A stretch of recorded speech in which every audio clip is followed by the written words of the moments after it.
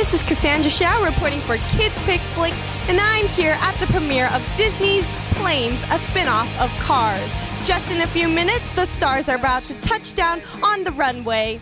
Get your engines ready. Now, two right. quick Hi. questions. Hey, hi. I mean, since I already saw you before, I asked really deep questions.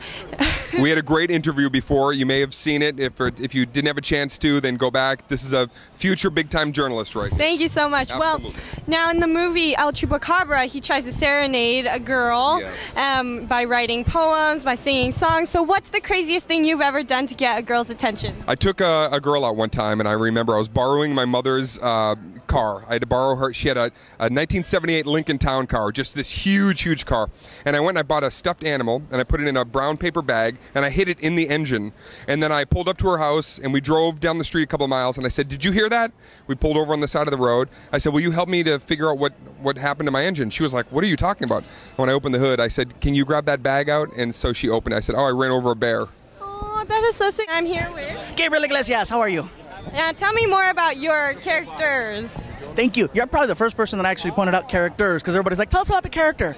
Uh, well, it's Ned and Zed. Oh, really? How is he? And I'm like, it's two people. Two planes. yeah, it's two planes. I'm sorry. Thank you. Now I'm being corrected. Um, one of the characters is my regular speaking voice, this one, and then uh, the other voice is really out there. He's just like, hey, bro. Super clueless. Kind of me uh, half the time. So Dusty dreams of racing, but he's so afraid of heights. And so, what's something that you've always been afraid to try? I've also been afraid of heights, so I really identified with Skipper greatly. Yeah, and when when Skipper tries to convince Dusty that he can do it, that he can, you know, he just has to believe in himself.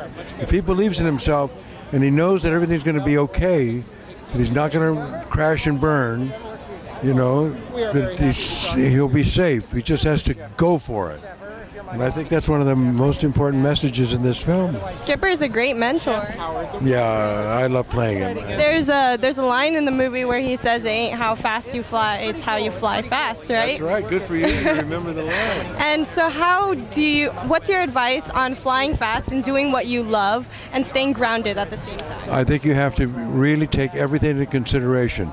You have to you have to look at the the, the positives and the negative. You have to stay in balance. Balance is the most important ingredient in terms of any kind of endeavor. Any kind of you have to look at the the things that you need to get better at.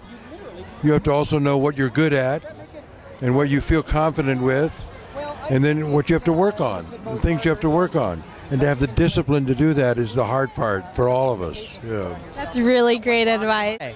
Where do you get your inspiration? Well, the big inspiration came from the world of aviation. We're all big aviation enthusiasts. Everyone from, you know, Klay Hall, the director, on down through the rest of the crew. Uh, you know, the world of planes is just something that we love, and to be able to marry that with the world of cars was something that we were really excited to do. So, what's your advice for young writers out there?